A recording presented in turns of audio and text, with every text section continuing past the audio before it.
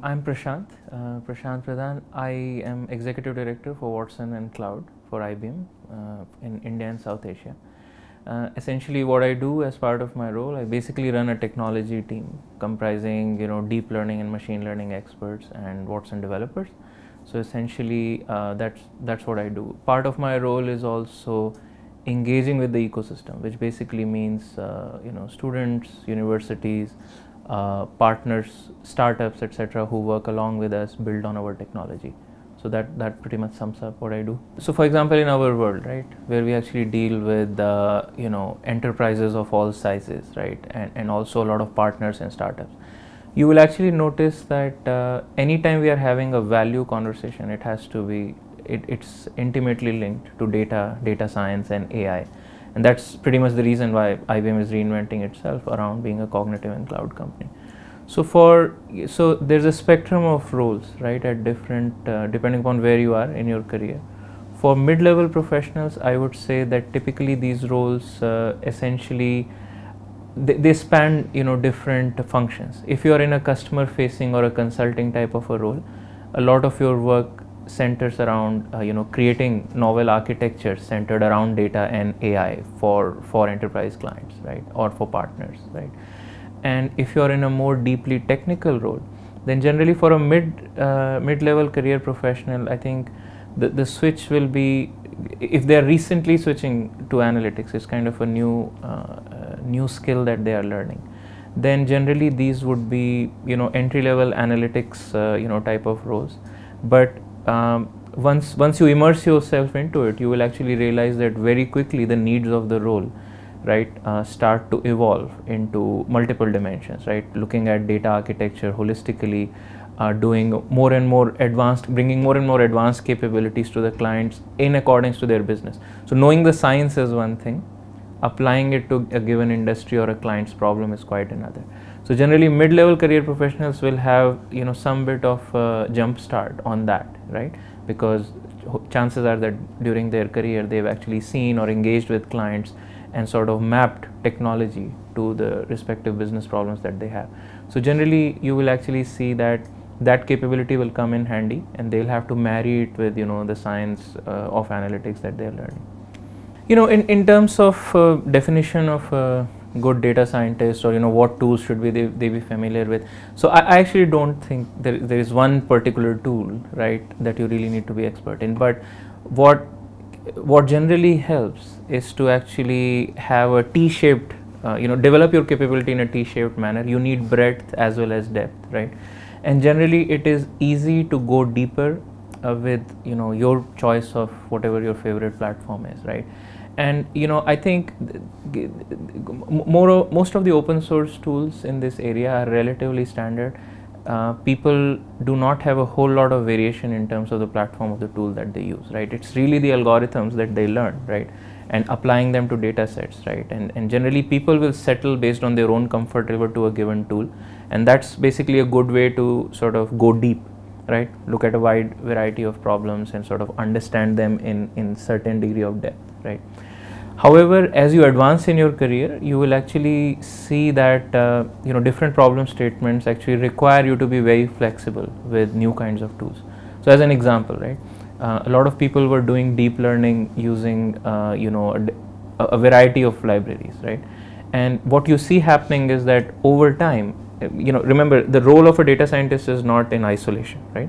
Th there's a community around you that influences you know um, kind of what are people doing right on some of the representative problems in each domain right? So what what you will see is that a lot of that starts to get you will actually see that to get insight into a particular problem right you you may actually be leveraging some work that has been built by somebody else right and they may have a different choice of tool. So so you know you have to be a quick learner you have to be uh, sort of flexible in terms of your adaptation of platforms over time you know platforms also evolve. So you might actually find that a lot of work that you might have to do in terms of you know data prep or marshalling in certain tools that improves over time. So the ability to actually switch to sort of newer platforms also helps you there because you will be able to easily exploit you know the new capabilities that are coming in those tools. So i would actually say that you know start with you know your choice of whatever you're most comfortable with. Go deep that's extremely important you know for you to uh, be successful later on in your career depth is very important. And then start focusing on depth and be more flexible on your choice of platforms right as you go. So in terms of what skill sets we look for right uh, obviously it depends on the target function right that we are looking at the candidate for right? So obviously a lot of young professionals right that we would hire would typically need to have you know solid grasp on uh, all the you know uh, so data science has this science as well as art you know to it right? And uh, a good grounding in the basic concepts a good grasp on any one tool. I mean we're not hung up upon you know what, what, particular tool is their favorite one right? So people who come in actually come in with sort of their own view of what they're most comfortable with. And we we really look initially for solid grasp on that concepts on those concepts. Good experience in terms of having worked with uh, uh, you know uh, popular data sets or problems for example a lot of the people uh, i generally hire. I mean I, i've looked for for example uh, have they been active on some of the communities? Have they done for example kaggle competitions and so forth right? So that generally gets you a good idea that it's not just your knowledge is not just conceptual or theoretical but you've applied it. And uh, the roadblocks that you might hit as a young data scientist in terms of you know dealing with the data trying different kinds of methods you've kind of been there been in the trenches right so that tends to be important for entry level roles. However you know as you go as you uh, move to more senior roles as i said i mean part of it starts to look like art right? Because you know once you have a, a, very solid grounding as well as experience fair bit of experience in applying data science the art part you know starts to look at okay feature engineering right? Do you have domain intuition right in terms of so if you're applying data science to a healthcare domain or a retail domain right? Or a banking or financial services domain right? It generally it, you know having the domain expertise and some degree of intuition in terms of how to apply this right becomes very handy and also very important right? Because our clients are not going to come up with sort of shrink wrapped problems or predefined that okay here is what i need to solve using xyz algorithm. That's not how it happens. We have to have the conversation very holistically right at advanced stages which involves both the data architecture aspects as well as the AI or the data science on top, right? So your ability to have that kind of intuition, your ability to understand what features are important, what is not, and ideally, if you're coming in with some, you know, great domain expertise, right? I mean, we would love to see that because that generally allows us to get a great head start and much less, you know, sort of. Uh, I would say improvisation when we're dealing with a particular industry verticals problems. So I would I would look at more advanced professionals more in terms of you know their intuition, their ability to do data art as opposed to data science because they've probably been in the space for a while and you know the, the aspects of you know the basic you know tooling and all of that is already taken care of. So so very different ways of evaluating right when uh, when when we look for uh, the, these skills. So in, in terms of uh, you know uh, advice for somebody who's just starting out. So i think see the good news is that uh, it, it's not very hard right? Uh, it, it, just requires a little bit of i would say discipline and being very open minded in terms of you know looking at a lot of different problems lot of different approaches of solving the same problem. Uh, a lot of the expertise in data science actually comes of course you need to have the foundation right? So all the uh, you know underlying math and uh, you know all the underlying uh, tooling or the programming yes th those are uh, i think uh, important prerequisites.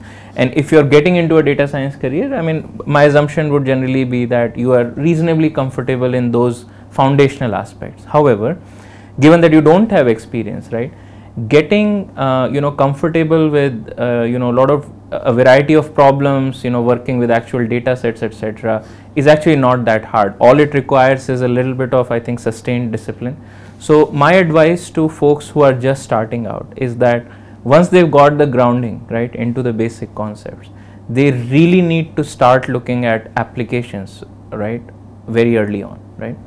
Th there's so much uh, you know community and content out there right that uh, this this is very easy right. I mean a lot of people. So we ourselves, for example, uh, one of the things we do is the so-called developer journeys right. So developer journey is basically like a pathway in which you actually pick up a particular problem and generally we derive it from something which is practically important it could be from a banking domain it could be from a health domain and so forth.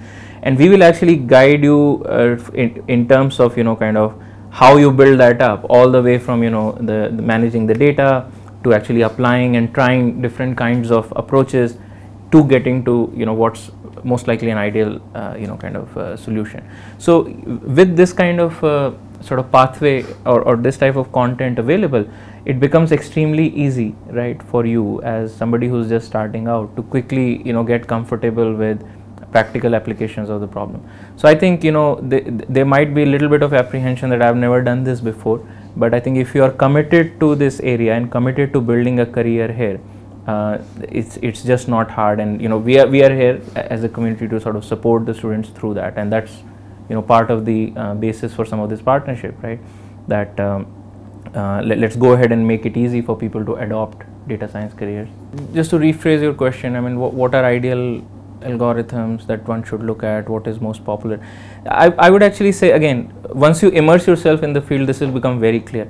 It's more about algorithms mapping to specific kinds of problems right? So classification regression those kind of problems th there's generally a fairly good ensemble of methods. And there is fair bit of intuition out there in terms of which ones will work for what category of problems. For example, if you are building a recommender system, right, uh, it's fairly well understood, right, the science behind it and why certain kinds of techniques will work uh, better than, than others, right. So, so again, uh, the point is that, you know, it's important to get a good grounding in the foundational concepts, right? The tools and the algorithms then will come naturally to you. This intuition you will develop over a period of time, right? That what's the right one to apply. Now, again, but that's in the beginning stages, right? As you evolve, you will actually see that this field is actually rapidly evolving, even though a lot of the theory in this field has been known, right, for decades. Uh, the point is that you know now it has become now it has become very easy right for you to apply. There's a lot of data which wasn't there before right? I mean world is getting digitized so the amount of data available to us is, is very large. So as training sets you have high quality training sets available right? And similarly you know a lot of compute power right? So for example uh, in the, the gpu accelerated cloud that we have in india right we actually offer that as a key way for people to get started on you know compute intensive workloads so the, the the barrier to entry is actually very low right? Both on the compute and on the data and sheer amount of information available out there right? So so essentially you uh, you start to see that the big jumps that come right are really in the form of uh, uh, you know completely new paradigms right? So for example you start from more of statistical methods moving on to uh, you know deep learning right? Deep learning has its own variations right? I mean there is a gradation of complexity there from you know basic neural networks to you know recurrent neural networks convolutional neural networks and gans right? So these are all they actually build upon the other right? So there's a natural sequence to follow in terms of which algorithms and uh, you know generally it's not good to try and jump ahead just because something is looking cool so for example deep learning has this uh, interesting uh, you know there are so many interesting applications that what i've seen is that you know young data scientists they tend to be very attracted to sort of the coolest application of deep learning that's out there so they'll generally try to sort of you know jump ahead without necessarily going through right the incremental evolution of these methods right so I would say resist that temptation, right? I mean, plan your pathway in terms of learning these algorithms in a natural way.